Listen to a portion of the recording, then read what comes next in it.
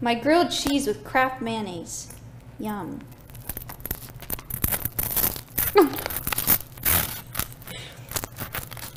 It won't cut through the baguette.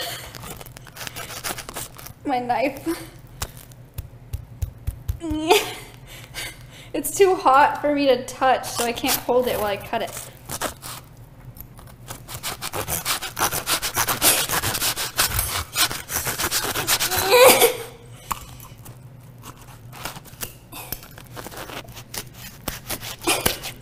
Yeah.